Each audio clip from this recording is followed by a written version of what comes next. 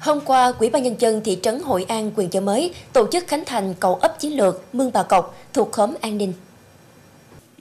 Cầu ấp chiến lược Mương Bà Cọc được xây dựng bằng kết cấu bê tông, cốt thép, chiều dài 27 m, ngang 4 m, tổng kinh phí xây dựng trên 300 triệu đồng do nhóm nhịp cầu vui Biên Hòa Đồng Nai và Ủy ban Mặt trận Tổ quốc Việt Nam thị trấn Hội An cùng các ngành vận động mạnh thường quân trong và ngoài địa phương hỗ trợ.